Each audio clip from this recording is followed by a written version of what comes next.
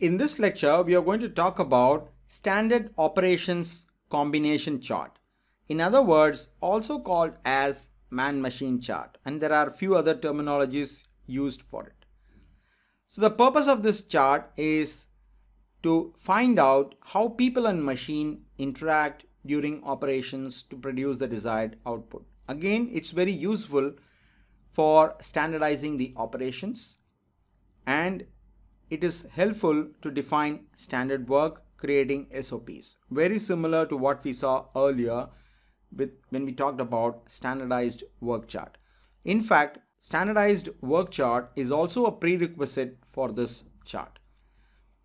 So you would be able to efficiently combine people and machine and the way they interact to produce more value or reduce the waste or muda in the process.